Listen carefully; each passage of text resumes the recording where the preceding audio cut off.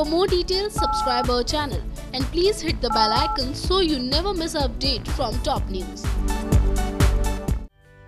रिश्तों की बगिया में एक नई महक डालने वाले और कई सालों से दर्शकों के दिलों में अपनी खास जगह बनाने वाले सीरियल। ये रिश्ता क्या कहलाता है? मैं इन दिनों दौड़ पड़ी है खुशियों की लहर। जी हाँ एक तरफ़ नायरा का बर्थडे बड़ी धूमधाम से मनाया गया और वहीं दूसरी तरफ़ कार्तिक ने अपनी नायरा के लिए हाथ पर टैटू बनवा कर दिया उसको एक खूबसूरत सा सरप्राइज़ लेकिन अब आपको बता दें कि ये खुशियों की लहर यही नहीं थमने वाली है।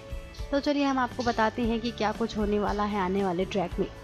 तो जल्द ही शो में हमारे दो लव बर्ड जाने वाले हैं हनीमून पर ग्रीस, और वहाँ मचाने वाले हैं खूब सारा धमाल। लेकिन बिना ट्विस्ट के खुशियाँ भी अधूरी ही हैं। जी हाँ कहानी में यहाँ भी कुछ ऐसे ही होने वाला है, जहाँ एक बार फिर नक्श के सामने आ जाएगा उसका काला अतीत। सोर्सेस की माने तो वो अतीत होगी तारा जो ग्रीस में नक्श और कीर्ति से टकरा जाएगी और उसके बाद स्पॉइल हो जाएगी नक्श और कीर्ति की खुशियाँ। तो अभी देखना और भी ज़्यादा दिलचस्प होगा कि तारा की ये वापसी क्या नया ट्विस्ट कहानी में लाती है। फ़िलहाल के लिए बने रहिए हमारे साथ और टीवी से जुड़ी और भी बहुत सी खबर जानने के लिए। दबा दीजिए रेड बटन और सब्सक्राइब कीजिए हमारा channel top news for you top news से चंचल की report